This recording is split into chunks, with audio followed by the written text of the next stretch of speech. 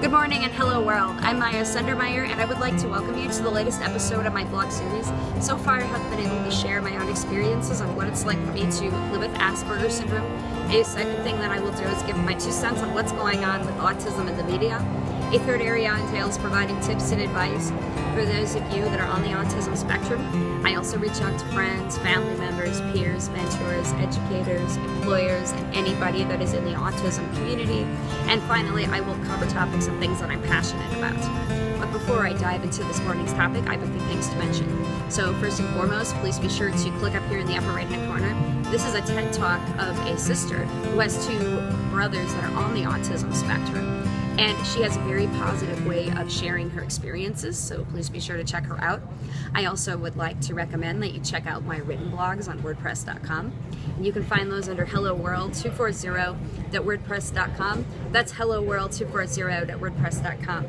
And what I would like to do now is uh, talk about something and give tips and advice in leeway to some things that I've been seeing on social media.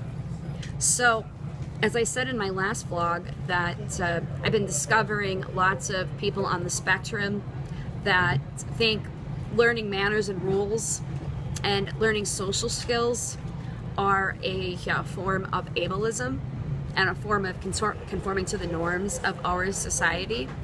Well, first and foremost, I disagree with that because uh, as a spectrumite, I had to learn manners and rules and I had to learn social skills in order to uh, be successful career-wise. And this is something that I wanted to do because I didn't want to freak people out anymore. And no, I didn't want to conform to the norms of society. It was just something that I knew that I felt right in my heart.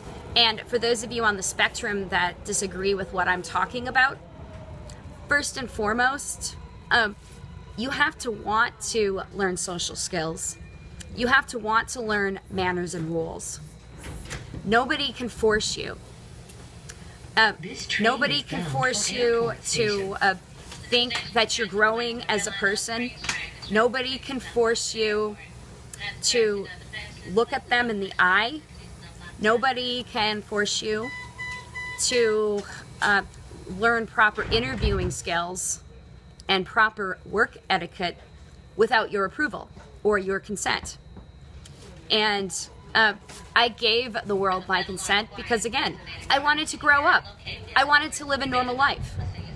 And uh, that's why I have, very different views.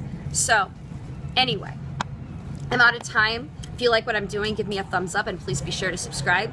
I do post every Monday and uh, also be sure to comment below and uh, be sure to check out my social media links. Until next time, I'm Miyah Sundermeyer and I'm signing off.